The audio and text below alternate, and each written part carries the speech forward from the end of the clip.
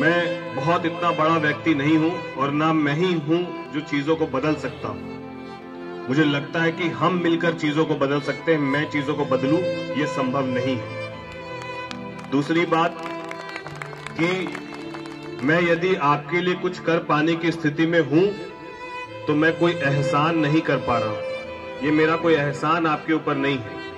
ये इस शहर का जनप्रतिनिधि होने के नाते मैं ये अपनी जवाबदेही और ज़िम्मेदारी समझता हूँ कि मेरे शहर का हर एक व्यक्ति यदि मुझसे कितना ज़्यादा से ज़्यादा लाभ ले सके, यदि आप लोगों ने प्यार देकर इस कम उम्र में शहर का उप महापौर डिप्टी मेयर बनाया है तो मैं इसके बदले में आपको क्या दे सकूँ? इसी उम्मीद से ये कोशिश और काम करने की इच्छा रखता हूँ। आज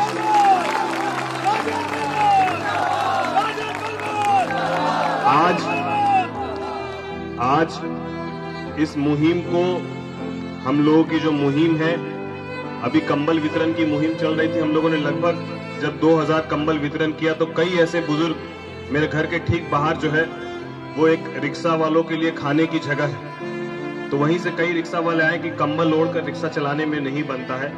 यदि आप जैकेट हम लोग को देंगे तो हम लोग रिक्शा ऑटो वालों को भी थोड़ा सा राहत मिलेगा। तो उन्हीं की आवाज़ को आवाज़ बनाकर मैंने ये सोचा कि पूरे शहर में लगभग हमको लगता है कि दस हज़ार के आसपास या पाँच से छह हज़ार के आसपास रिक्शा, ऑटो और टोटो है। हम दस हज़ार की तादाद को कितना दे पाएँगे हम नहीं जानते हैं, लेकिन जितने लोग हमारे से जुड़े हैं, यहाँ पर आए हैं, उन हर एक व्यक्ति तक ये चीज़ें पहुँचे, ये मैं आपको सुनिश्चित करता हूँ। दूसरी बात, हम कोई नेता नहीं है, इसीलिए जिंदाबाद नहीं भी बोलिएगा तो चलेगा। और ना नेता बनना चाहते हैं। जहन में बस एक ही है कि हम भागलपुर का बेटा यही मेरी उपलब्धि है, नेता नहीं बनना है। नेता हर दिन पैदा होता है और हज़ारों वादों के साथ पैदा होता है। हर वक्त चुनाव का वक्त आएगा, एक साल अभी है।